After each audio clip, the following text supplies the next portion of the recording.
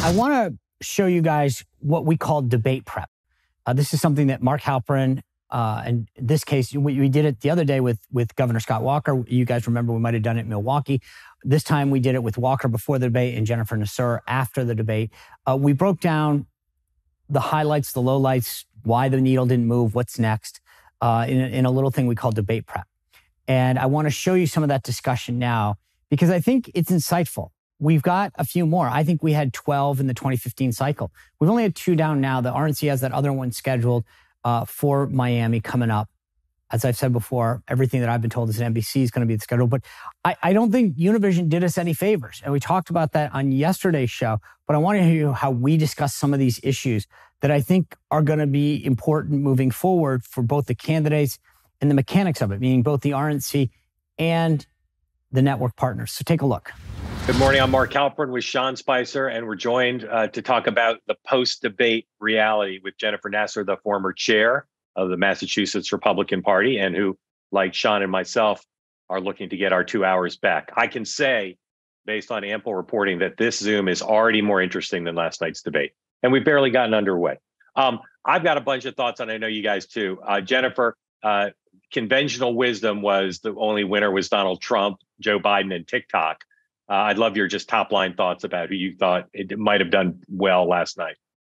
All right. So, number one, I'm going to start with this. It was a snooze. I mean, I was trying to get my daughters to watch it with me. And until, I mean, I think it wasn't until Nikki Haley looked at Vivek and said, Every time you speak, I'm dumber. Right. I mean, it's like those, that was the line that finally I was like, Oh, wow, that was like a shot of energy because I think before that, everyone was just sleepy and it wasn't exciting. And then all of a sudden, everyone kind of kicked in to, oh, wait a second, we're we're debating each other. This is a presidential debate. It's live. Um, but you know, it really, I think it was very sleepy at the beginning. I don't know if it was the questions. Um, I don't know if everyone was nervous. I, it, you know, for me, I'm a Nikki Haley supporter. I think Nikki really did great. And I was listening to one of the um, talk show hosts later on in the night who said it should be you know, a and the next debate should be between Ron DeSantis and Nikki Haley. That might be a little bit more interesting than what we saw last night. Maybe some new RNC requirements that unless your name is Nikki or Ron, you can't be in the debate. um, Sean, uh, what's your top lines? And then I got I want to talk about the RNC next because it's I think yeah. an underexplored topic. Yeah, well, I, well, I, am glad. I'm looking forward to talking about that because I thought it was an embarrassment that Univision was part of that debate. I mean, between Univision hosting it and Gavin Newsom in the in the in the spin room, I, I, thought if you closed your eyes and no one told you who the candidates were, you would be convinced that was a Democratic candidate debate. Yeah. Uh, so so I'm looking forward to that. I thought it was the dynamics were interesting. I thought Vivek clearly we talked about this on yesterday's call. He came out very humble, talking about you know the 11th Ronald Reagan's 11th commandment and the respect that he had for the other candidates. And I'm like, uh, did the other Vivek go home because he was much more humble and contrite. Uh, oh, he was for he was for a bit, but then later he loaded the snot back in his nose. Yeah, but but uh, and and again, I thought to Jennifer's point, it started slow. Then people got their one-liners, and it was Donald Duck from Chris Christie, Nikki Haley's dumber comment, Pence's comment um, about um, y- y- you know Vivek just learning to vote after he got back from China, the TikTok question. But the problem is, everyone got their one-liners in, and then it was sort of uh, a food fest, a food fight. I mean, everybody was yelling. The moderator, it just to me, it was it was rather embarrassing. And I think uh, I mean, I felt a little bad for Doug Burgum at a certain point, but I'm like, listen, dude, you're you're basically lucky to be here. So like pipe down. But I, I think until this thing gets down to four candidates, it's going to continue the way it is.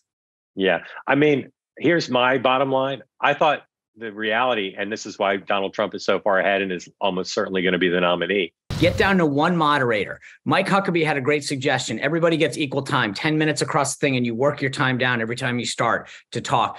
All right, before Jennifer, I want to ask you what you would tell the chairwoman of the RNC to do to fix this mess. But Sean, name your moderator. You you pick who should moderate the debate. Ben Shapiro, Glenn Beck.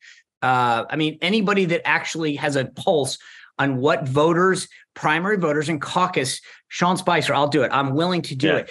So first of all, I agree with Sean. Univision shouldn't have been there. It was almost confusing. It was almost confusing, and I feel like they, you know, Dana and um, you know, I think they kind of lost control with the partnership with Univision.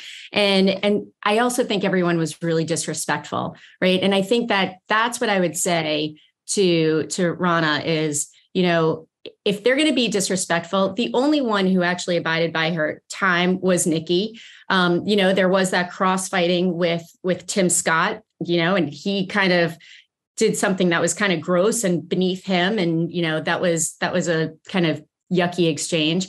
Um, but I think that there should be some sort of penalty. You know, I mean, hey, listen, if you're not going to abide by the time, you're going to have to pay the RNC give the RNC $10,000 for every second you go over. That should actually shut everyone up, right? Because money talks and their donors are not going to be happy when they're going over their time and then they have to give the RNC money. I think that there has to be, and I think also the metrics need to change. I totally think that at this point, listen, you know, Mike Pence, nice guy. Chris Christie, I love Chris. He comes here a lot.